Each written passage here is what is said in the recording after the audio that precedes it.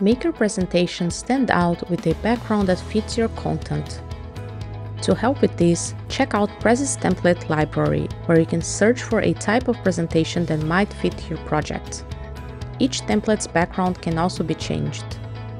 Once you select a template, the background sidebar opens automatically in the Prezi Present editor, but you can also access it under the Style button. On that sidebar, you have a few options to customize your look. For a solid background color, click the box to change it by selecting from a set of colors and putting a custom hex or RGB code, or try using the eyedropper to select any colors from your screen. Another option is to change it from a solid fill to a linear gradient or radial gradient.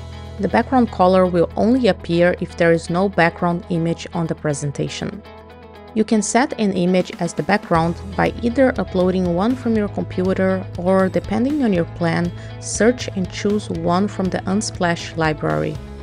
If you're using one of your own images, choose a high quality PNG or JPEG and try to choose one with dimensions that match the aspect ratio you'll be presenting with.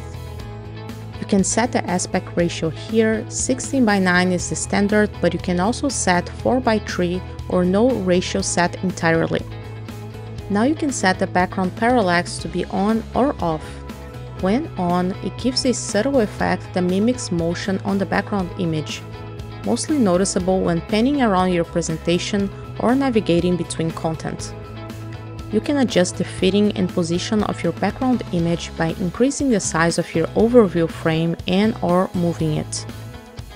It's useful to turn it off if you want to align parts of your presentation to exact areas of the background.